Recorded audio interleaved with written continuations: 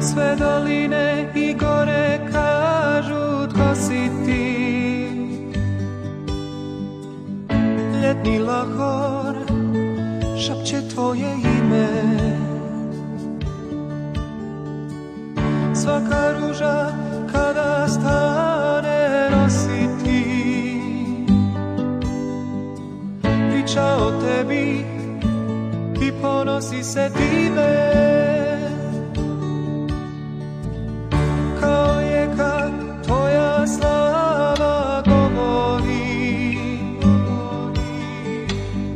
Sve što diše netko davno stvori.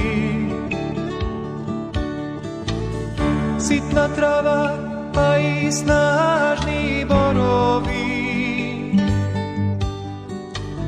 Svaka biljka tvoje djelo tvori.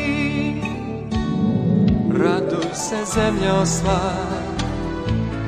Jer svi smo njegovi Raduj se na sav glas Kličite brjegovi I ti vojsko nebeska.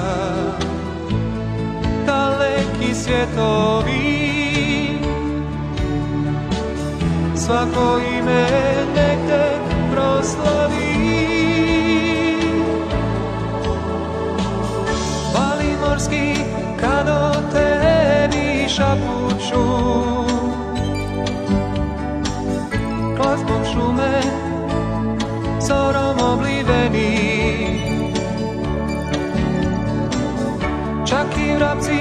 što po zemlji skakuću pjesmom radost probuđuju u meni. Čak i šutnja govori o tvojoj svemoći. I nebeski zborovi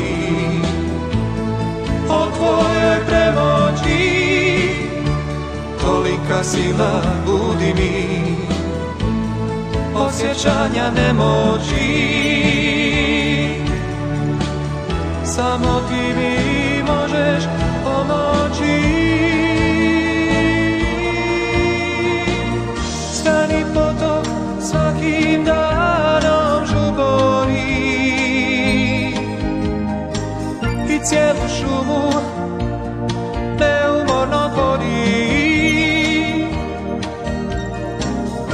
Nisko grnje i mirisni lovori slave tebe što ih takve stvori Raduj se zemljo sva jer svi smo njegovi. Raduj se na sav glas Kličite brjegovi vojsko nebeska. Daleki svjetovi plemena zemaljska, jer svi smo